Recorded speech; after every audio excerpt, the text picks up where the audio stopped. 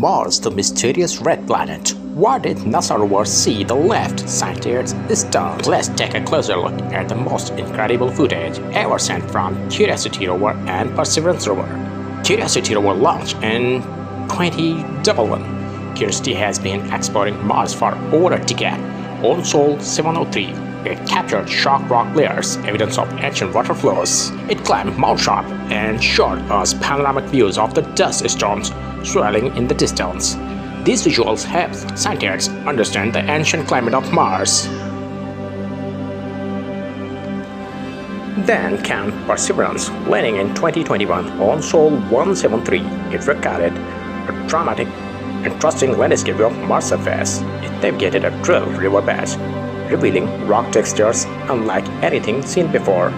Its microscopes captured this eerie sound of Martian wind and rovers on wheels grinning on the ancient ground.